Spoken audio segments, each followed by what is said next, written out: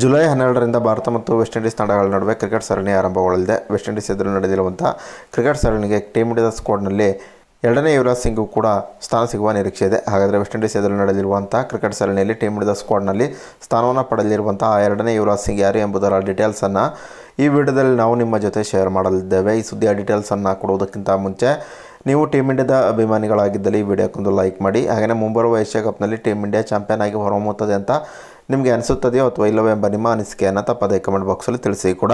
July ಹನ್ನೆರಡರಿಂದ ಭಾರತ ಮತ್ತು West Indies ತಂಡಗಳ ನಡುವೆ ಎರಡು ಟೆಸ್ಟ್ ಪಂದ್ಯಗಳ ಟೆಸ್ಟ್ ಸರಣಿ ಆರಂಭಗೊಳ್ಳಲಿದೆ.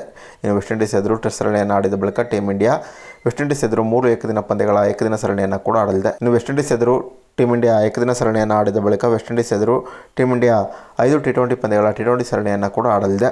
ಇನ್ನು ವೆಸ್ಟ್ ಇಂಡೀಸ್ ಎದುರು ನಡೆದಿರುವಂತಹ ಟೆಸ್ಟ್ ಏಕದಿನ ಮತ್ತು ಟಿ ಟ್ವೆಂಟಿ ಸರಣಿಗೆ ಸದ್ಯದಲ್ಲಿಯೇ ಟೀಮ್ ಇಂಡಿಯಾ ಪ್ರಕಟಗೊಳ್ಳುವ ಸಾಧ್ಯತೆ ಇದೆ ಇನ್ನು ವೆಸ್ಟ್ ಇಂಡೀಸ್ ಎದುರು ನಡೆಯಲಿರುವಂಥ ಏಕದಿನ ಮತ್ತು ಟಿ ಟ್ವೆಂಟಿ ಸರಣಿಗೆ ಟೀಮ್ ಇಂಡಿಯಾದ ಸ್ಕ್ವಾಡ್ಗೆ ಎರಡನೇ ಯುವರಾಜ್ ಸಿಂಗ್ನ ಎಂಟ್ರಿ ಕೂಡ ಆಗುವ ಎಲ್ಲ ಸಾಧ್ಯತೆ ಇದೆ ಅಂತಲೇ ಹೇಳಬಹುದಾಗಿದೆ.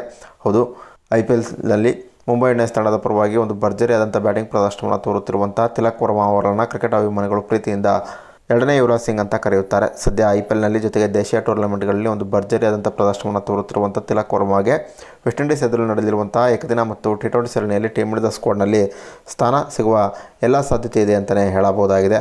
ಇದುವರೆಗೆ ತಿಲಕ್ ವರ್ಮಾ ಇಪ್ಪತ್ತೈದು ಐ ಪಿ ಎಲ್ ಪಂದ್ಯಗಳನ್ನ ಆಡಿದ್ದು ಈ ಇಪ್ಪತ್ತೈದು ಐ ಪಿ ಎಲ್ ಪಂದ್ಯಗಳಿಂದ ಏಳ್ನೂರ ನಲವತ್ತಾರು ರನ್ಗಳನ್ನು ತಿಲಕ್ ವರ್ಮಾ ಕಲೆ ಹಾಕಿದ್ದಾರೆ. ಜೊತೆಗೆ ದೇಶೀಯ ಟೂರ್ನಮೆಂಟ್ಗಳಲ್ಲೂ ತಿಲಕ್ ವರ್ಮಾ ಒಂದು ಭರ್ಜರಿಯಾದಂಥ ಬ್ಯಾಟಿಂಗ್ ಪ್ರದರ್ಶನವನ್ನು ತೋರುತ್ತಿದ್ದಾರೆ. ಈ ಕಾರಣದಿಂದಾಗಿ ತಿಲಕ್ ವರ್ಮಾಗೆ ವೆಸ್ಟ್ ಇಂಡೀಸ್ ಎದುರು ನಡೆದಿರುವಂಥ ಏಕದಿನ ಮತ್ತು ಟಿ ಟ್ವೆಂಟಿ ಸರಣಿಯಲ್ಲಿ ಟೀಮ್ ಇಂಡಿಯಾ ಸ್ಕ್ವಾಡ್ನಲ್ಲಿ ಸ್ಥಾನ ಸಿಗುವುದು ಹೆಚ್ಚು ಕಡಿಮೆ ಕನ್ಫರ್ಮ್ ಅಂತಲೇ ಹೇಳಬಹುದಾಗಿದೆ. ಇನ್ನು ನಿಮ್ಮ ಪ್ರಕಾರ ವೆಸ್ಟ್ ಇಂಡೀಸ್ ಎದುರು ನಡೆದಿರುವಂಥ ಏಕದಿನ ಮತ್ತು ಟಿ ಟ್ವೆಂಟಿ ಸರಣಿಯಲ್ಲಿ ತಿಲಕ್ ವರ್ಮಾಗೆ ಟೀಮ್ ಇಂಡಿಯಾ ಸ್ಕ್ವಾಡ್ನಲ್ಲಿ ಸ್ಥಾನವನ್ನು ಮಾಡಿಕೊಡಬೇಕಂತ ನೀವು ಬಯಸುತ್ತೀರೋ ಅಥವಾ ಇಲ್ಲವೇ ಎಂಬ ನಿಮ್ಮ ಅನಿಸಿಕೆಯನ್ನು ತಪ್ಪದೇ ಕಮೆಂಟ್ ಬಾಕ್ಸಲ್ಲಿ ತಿಳಿಸಿ. ಹಾಗೆಯೇ ಇದುವರೆಗೆ ನೀವಿನ್ನೂ ನಮ್ಮ ಚಾನಲ್ಗೆ ಸಬ್ಸ್ಕ್ರೈಬ್ ಆಗಿಲ್ಲ ಅಂತ ಹೇಳಿದ್ರೆ ಈ ಕೂಡಲೇ ನಮ್ಮ ಚಾನಲ್ಗೆ ಸಬ್ಸ್ಕ್ರೈಬನ್ನು ಕೂಡ ಆಗಿ. Thank you